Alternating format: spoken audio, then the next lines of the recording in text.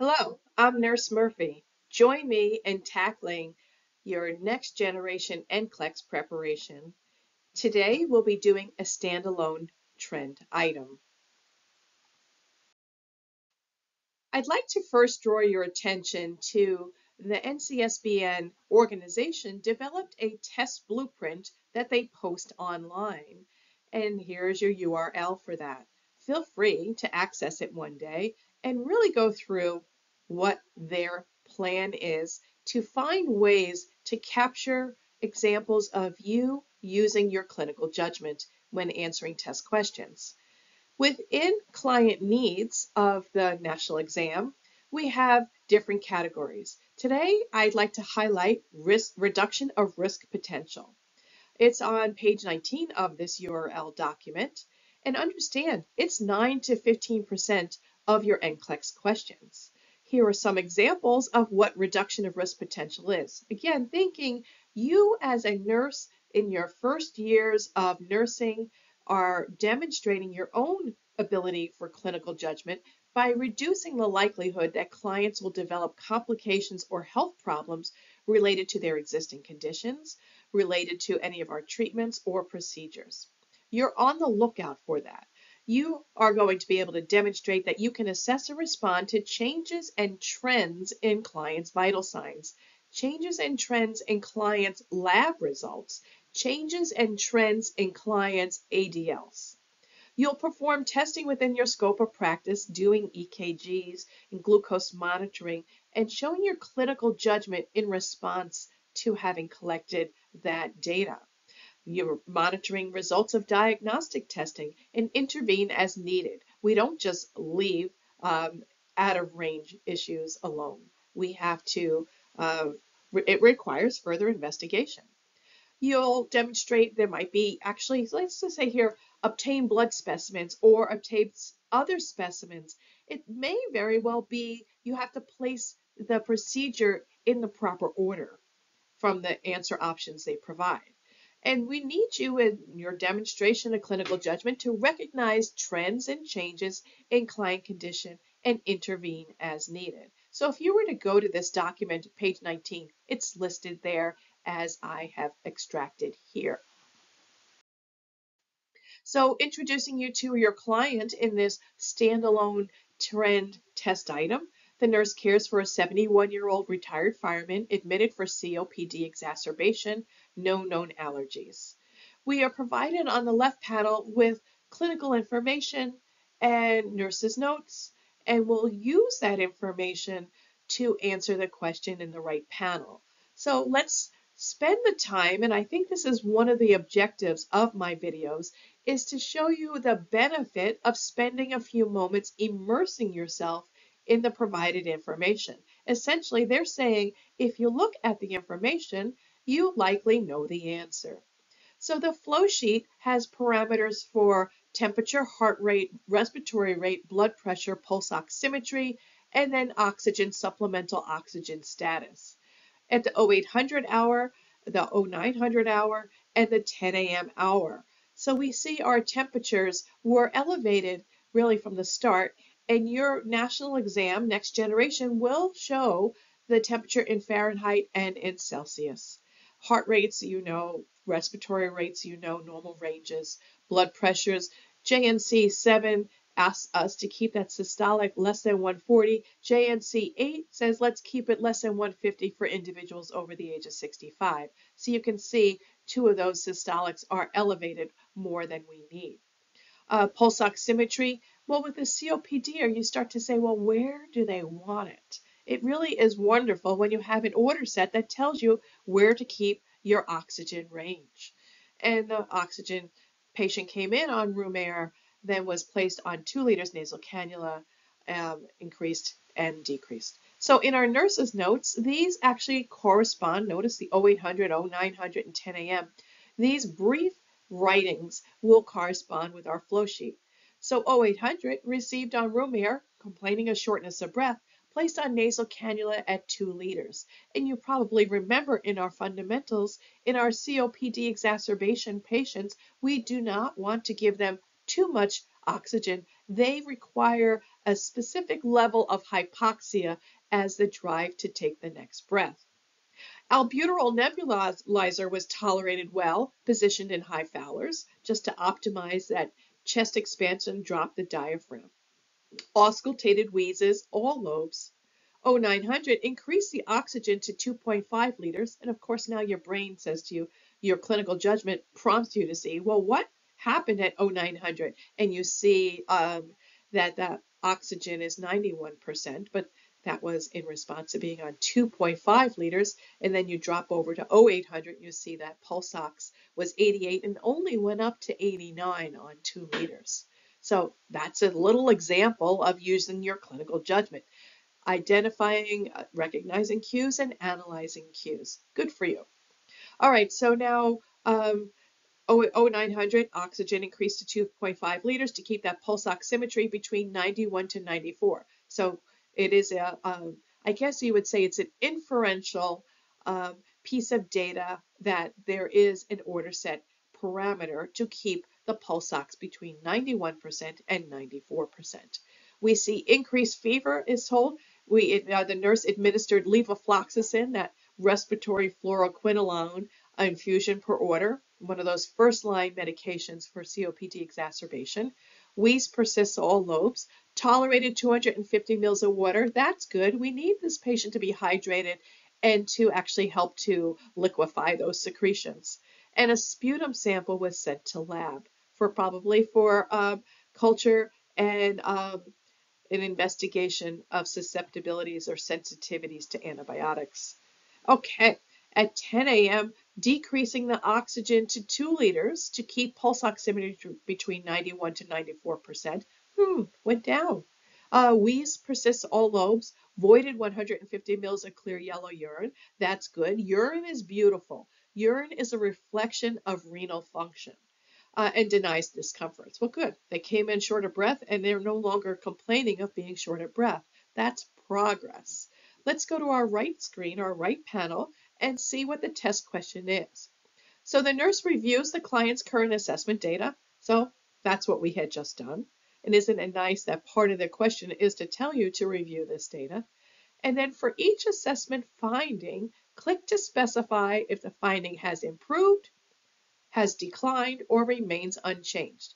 So we're thinking of taking our 10 a.m. data, that temperature has definitely changed. Uh, heart rate changed. Respiratory rate changed. Uh, blood pressure changed. Saturations changed. And oxygen have changed. I didn't give you the exact answer yet because we have it on the next slide. Okay, so that temperature has improved, less fever.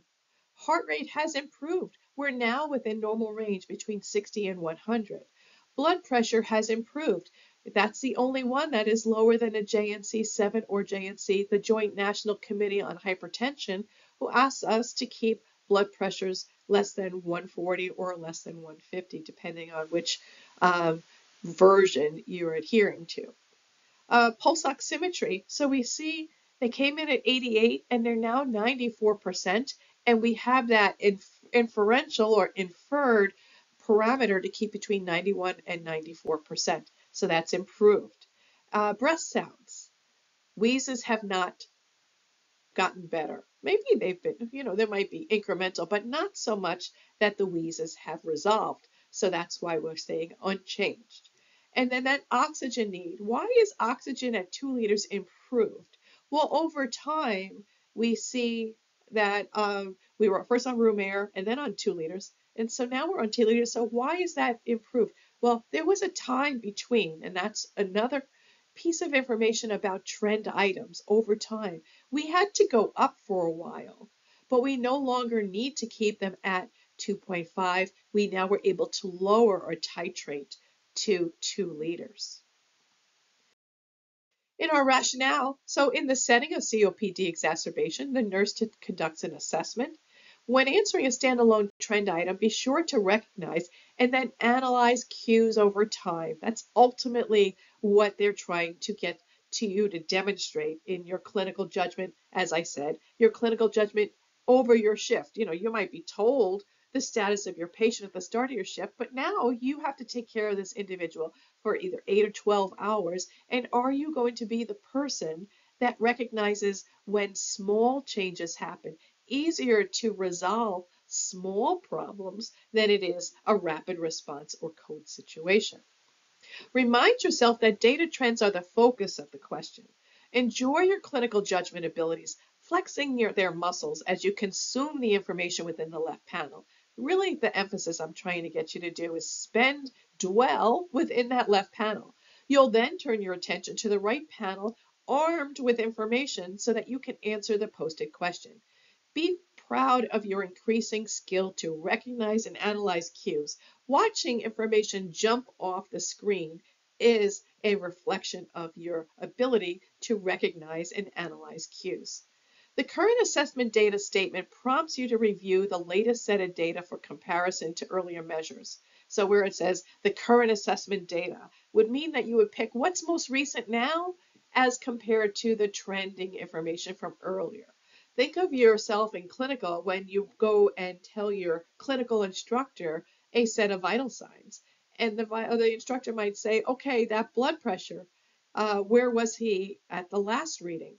And if you didn't notice that, you know, you're just like, oh, why didn't I, why didn't I write that down? Why didn't I compare it?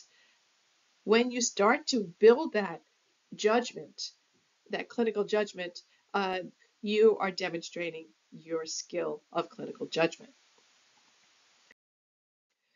All right, I use the same scenario client, but we're going to do a different trend item. The nurse cares for a 71 year old retired fireman admitted for COPD exacerbation, allergy none. So that final hour is that latest data set. Temperature, sure, fever was resolving. Heart rate, sure, it's now within normal range. Blood pressure, sure, it's now within normal range. Pulse oximetry, sure, now within normal range of those parameters that they said 91 to 94% not you or I. We would be uh, greater than 97%, different in the COPD lung setting. Breath sounds are unchanged. We throughout lung fields did not change each hour. So oxygen, supplemental oxygen, that's really what I'm trying to go on here. It, it, the need improved. Why? Because that oxygen titration downward by 0.5 mils successfully maintained pulse oximetry parameters. I mention this too because I remember in my first year of nursing, 1981, oh my goodness, when I had a COPD uh, uh, exacerbation uh, client who was on, I think he was on 2.5 liters nasal cannula. He may very well have been on, uh, well, he was up to 2.5, I remember it. And then we did go down. This is actually this sounds silly, but you might not even believe it. We didn't have pulse oximetry. We only had arterial blood gas. Anyway, the doctor was discussing with me the client's situation, and he said to put the patient on one liter nasal cannula. And I said, would it be okay with you if we titrated just to 1.5 liters? He kind of chuckled a little, like, oh, mm, oh, okay, let me indulge you. And he wrote the order to decrease the of the supplemental oxygen to 1.5 liters. That blood gas came back beautifully, beautifully. So consider titrations by 0.5 mils in either direction in your COPD client. A little change can make a big difference. All right, so here this is a one, zero out of one or zero slash one uh, scoring opportunity. And because you see we have six points, the client uh, the candidate, you, taking this would get six points.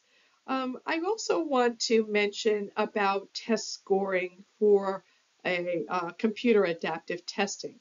You're, you are going to get 85 questions minimally. You are also going to get three case studies minimally. If you go past that, you might get more case studies that are maybe just a test question or but you know they won't count. But you minimally will get that. So here you say to yourself, well, if it's 85 questions, do I get six points or six less questions? I just want you to know that when you answer correctly, say we got this one all right, you got all six, This is for that one question. And in the computer adaptive um, testing format, what happens is your ability will increase and your next question will become more challenging, which is a good thing. Um, or it will stay the same if you did not get all six, or it may actually go down. So understand it's when you see six points, it's a good thing to get the six points, but it's associated with the computer adaptive testing rather than less questions. I give another URL here because the NCSBN NCLEX does have this site for you to go through a variety of test, next generation test items. And so the site brings you through a variety of test item types using simple questions, meaning that, um, you know, we all as nurses know these answers, but you get to see them in the different formats. And the benefit is that you gain an understanding of the NCLEX test question item types. The outcome is that you will view item format types that are familiar to you when you actually sit for the exam. All right, so I decided to continue this case study and provide you with a new standalone trend test item. So the nurse cares for the 71 year old retired fireman admitted for chronic obstructive pulmonary disease exacerbation, no known allergies.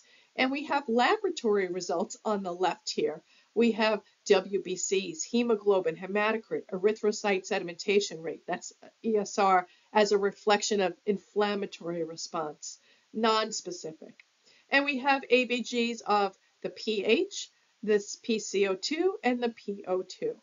So this client, uh, just in the outpatient setting, March measures of last year, September measures of last year, and then this past March measures of uh, lab data. So let's let's just spend one second. And I know, you know, we're so impatient as just as a people, as a culture today, modern times, that we just want to say, oh, I'll look back over at it when I'm answering the question. Be the nurse that spends one moment to analyze the cues so that they get into your hard drive, if you will. You'll find that when you do this, say you do this before you write your nurse's note, you actually spend less time writing your nurse's note. You're better informed. Um, that's just something I've learned over the years. I know we're busy, but it is time well spent. Okay, so the white blood cells are between 5 to 10,000, and we see this client always has uh, values that are greater than 10,000, always elevated. Hemoglobins, 14 to 18, and we see a trend that first was in normal range and started to go downward. In hematocrit, similarly, because hematocrit really is a reflection of your hemoglobin, um, we see a downward trend. Um, the ESR should be, if you and I had an ESR done today, we would be less than 20. No, no real big inflammatory response as healthy individuals, but we see our client is always elevated greater than 20 in an upward trend over time. pHs, so 7.35 to 7.45, normal within last year in March, but a downward trend afterwards. The PCO2, uh, 35 to 45, we see elevation on all measures in an upward trend. And then arterial PO2, 80 to 100, we see never quite gets there and has a downward trend. All right, so let's go over to our questions. The nurse assesses the client's most current data. Now, if we're assessing that, you could say, well, let me just look at the, the last column. But it is in relation to or trending from prior measures. Is this patient getting improving in health status or declining in health status? So the client experiences a long-standing, and we have to choose um, from the drop-down options.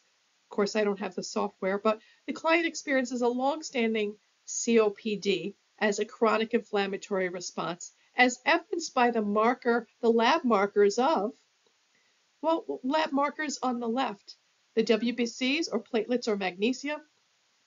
And, and then we have new options, the uh, ESR, PO2, or pH. I'm not going to answer those. I did the COPD just because we've been working on COPD this whole session. Our second question, prevalence of polycythemia, anemia, or normochromia increases with age and chronic disease.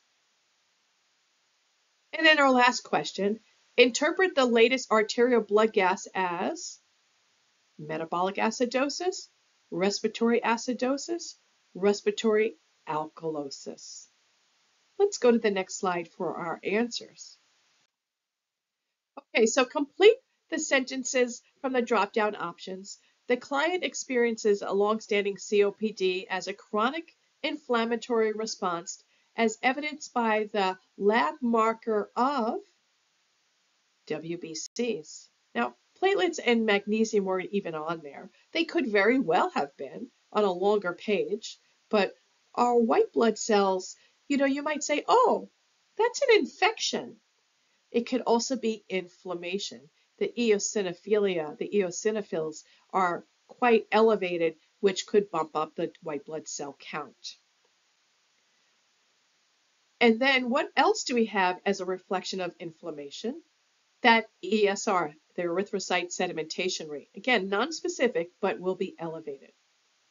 In our second question, the prevalence of anemia increases with age and chronic disease. And then interpret the latest arterial blood gas as respiratory acidosis. And as that quick little, you've probably heard this a hundred times, but let's look at it. Um, let's look at the March of this year. pH is down, less than normal range, and the PCO2 is up, greater than normal range. When we see that that switch, let me see if I can put one hand. So one hand, when the pH is going down and the PCO2 is going up, in an acidosis, respiratory acidosis. All right, we see um, our bicarb. Let's look at that a little. Oh, I don't have a bicarb. I would have loved a bicarb on here. There's so many, so many lines. All right, next slide. Rationale. This is a multiple response trend item. Chronic obstructive pulmonary disease is a chronic disease as an inflammatory condition that affects the aging population. Meaning, if you have uh, that long-standing lung disease, giving time, uh, you will have advancing uh, inflammation. And so you have to be around long enough to develop this. Now, developing anemia or a polycythemia, you may remember when somebody is hypoxic, initially hypoxic, their red blood cells, they'll make more red blood cells to carry around more hemoglobin as a compensatory measure. But there's a limit to that. You have someone with COPD for decades, they they don't maintain that polycythemia. So developing anemia or polycythemia depends on the balance between that inflammatory stimuli and hypoxic stimuli, which of course we see in our COPDers, their, their hypoxia, should initially uh, prompt this polycythemia, but ultimately remember the prevalence of anemia in the general population increases with age. So over time, um, similarly, anemia is more common than polycythemia with advancing age. And you probably know this as anemia of chronic disease. All right, and then the answer responses are not too challenging in this example. In general, I tend to really stick with what the NCSBN does too. Let's show you how to answer these as a trend item. This question will provide a good representation of reviewing clinical information and then using your clinical judgment to answer appropriately, building skill on demonstrating clinical judgment. So in our case study uh, summary, Here's what we've learned. A standalone trend item consists of clinical information within the left panel, and you have to spend some moments there to recognize cues and analyze those cues. And then there'll be a single question within the right panel, and ultimately, when you are answering your questions, understand every question was written with this uh, NCSBN's clinical judgment measurement model to recognize cues, to analyze cues, to prioritize your hypothesis, to generate solutions, to take actions, and to evaluate for effect. So the client needs table on page five of the provided URL test plan provides a breakdown of the percentage of items within each client needs category. And today we, we uh, placed our standalone trend test questions likely to fit the reduction of risk potential category.